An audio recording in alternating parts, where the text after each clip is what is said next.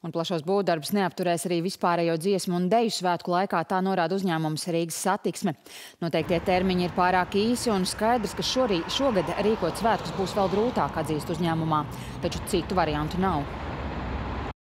Darbus nedrīkstēs apturēt tieši tāpēc, ka ir tikai desmit mēneši, lai to izdarītu. Darbus faktiski nevarēs apturēt nevienu brīdi.